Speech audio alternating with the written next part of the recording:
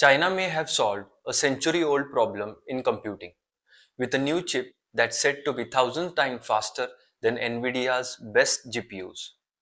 So here is what happened. Researchers at Peking University have built a new analog chip and it could change everything about how computers work. Right now, all of our computers use digital processing, which means they handle information in zeros and ones. It's powerful, but it takes time and lot of energy, especially for AI and large calculations. But analog computing works differently. Instead of using zeros and ones, it processes information as continuous electrical signals, sort of like how our brain works. It's much faster and more energy efficient.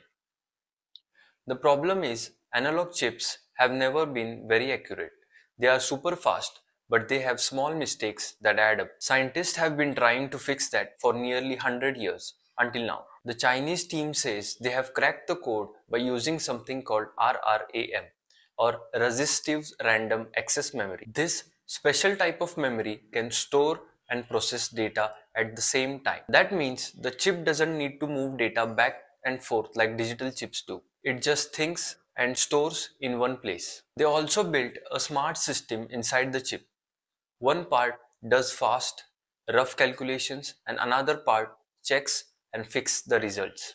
That makes it both quick and precise. In tests, the chip handled complex problems that normally take hours for a GPUs in just a few minutes. It's also about a hundred times more energy efficient, which is huge for AI, 6G networks and data centers. What's even more exciting is that the chip was made using regular manufacturing methods.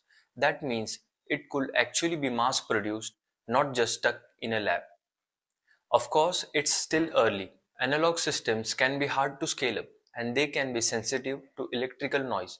But if this works as promised, we might be looking at a whole new era of computing, one that combines analog speed with digital accuracy. So yes, after a hundred years, analog computing might finally be making a comeback and it could even leave our fastest GPUs in the dust. Thank you for watching.